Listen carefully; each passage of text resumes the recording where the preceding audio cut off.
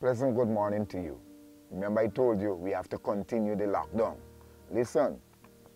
Right, listen to this. Don't rebel against the lockdown. No, don't do that. It helps. Why I say that? Well, I'm talking on behalf of the health people. The lockdown helps. It helps to control the disease. But listen to, I continue suggestions that we need to focus on and we need to deal with if we are going to be less stressed out during the lockdown. Now face it, face it.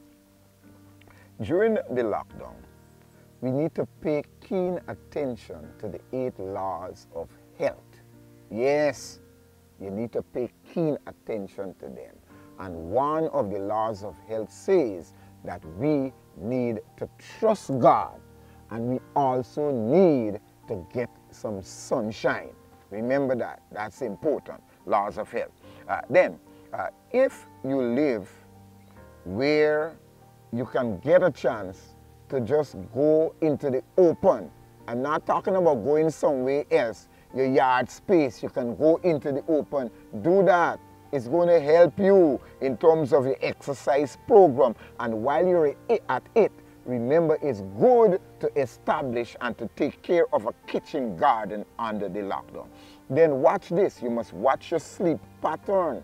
Listen, a lot of people sleeping very little uh, during the lockdown because uh, they are thinking I have all this time. But listen, this human body has a biological clock and you must understand uh, that uh, the 888 theory, which goes especially for school children, which says eight hours uh, sleeping, eight hours at home, and then eight hours in front of the screen, Zoom time. Uh, remember, you gotta be able to balance that and don't take too many hours and put into entertainment. You gotta watch your sleep time.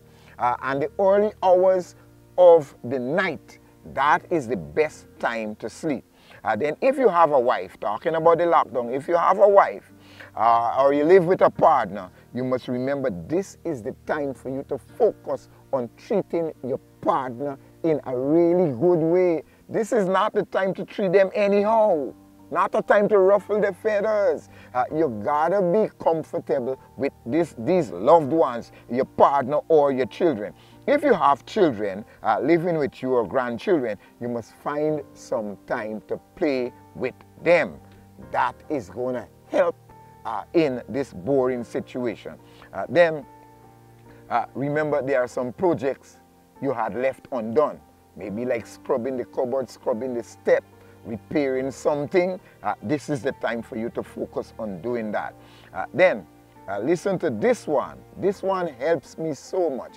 When I have to sit working at home uh, in front of the Zoom and doing stuff, listen, I make sure I dress as if I'm going to an office. Why I do that?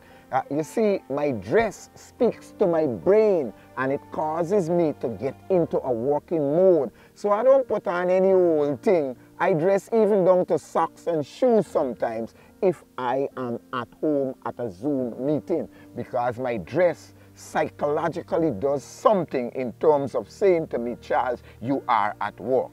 My dress commands my brain. Uh, then uh, you must find time to memorize something during the lockdown. Uh, then find time to call and encourage at least one person during the day. Don't focus on yourself alone. There are people who are worse off than you. Find some time to encourage and to call and to pray with somebody perhaps who is not well or maybe they're, they're well physically but psychologically something is bothering them. And then remember to smile often.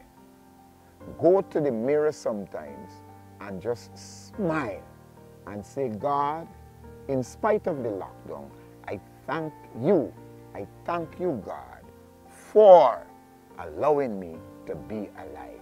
The text I want you to remember is 1 Peter chapter 5 and verse 7, which says, Casting all your cares upon him, for he, God, careth for you.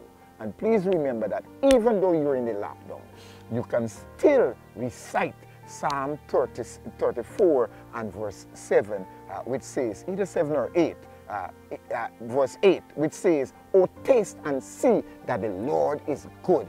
Blessed is the man that trusted in him. God and Father, in spite of the lockdown, help somebody to be able to trust you more and to taste and see that you are good and to be able to cast their cares upon you. Help them not to worry because worry doesn't get us out of this situation. Guide us and encourage us.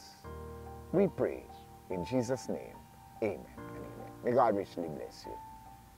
Take the world, but give me Jesus. All its joys are but a name, but His love abideth